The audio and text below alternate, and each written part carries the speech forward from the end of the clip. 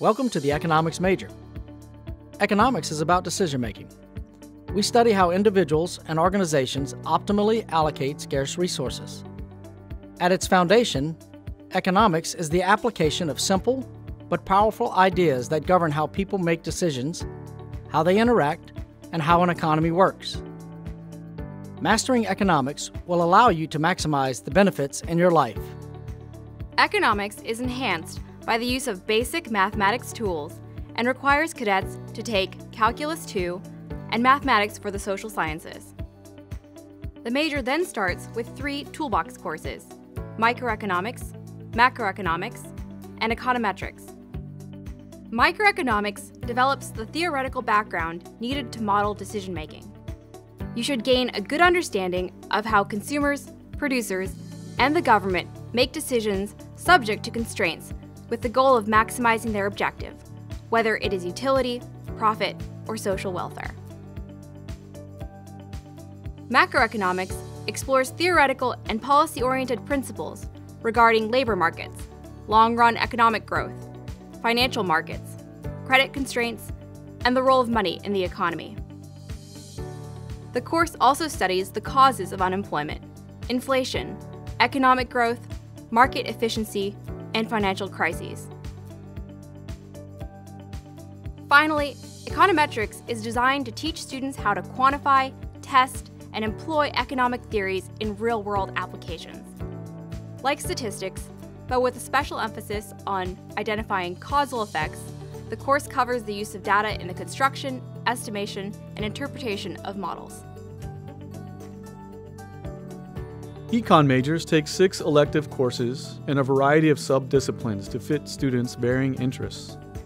In your class selection, you may decide to go deeper in one area of economics or get a broader overview by tackling courses in different areas. Combining tools of microeconomics and econometrics, we offer manpower and labor economics and public finance, which serve as two of our three integrative courses. These courses explore topics related to labor market discrimination, health, education, and crime, while analyzing the impact of government policy solutions in the economy. Also stemming from our microeconomics toolbox, we offer behavioral economics, game theory, and leadership economics.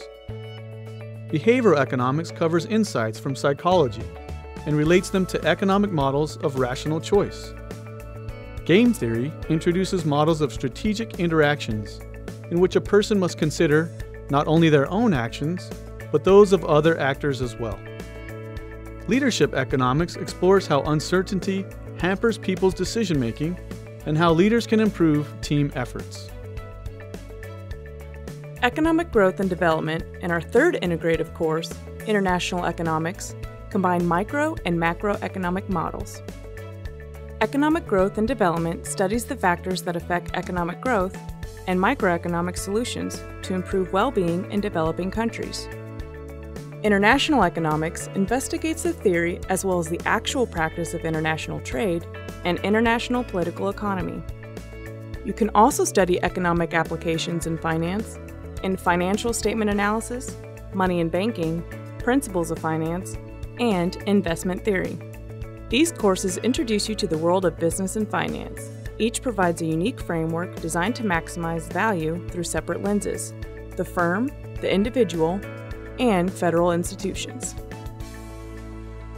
History of Economics studies the history of economic thought and America's economic development, providing important historical context for all of your other courses. Cadets who wish to pursue independent research and dig more into data take Econometrics 2. This course builds upon the material covered in Econometrics 1 and is designed to teach students advanced concepts in estimation and causal inference.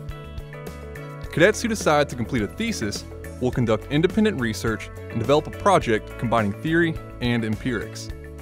This thesis concludes in a research paper and a presentation on Projects Day.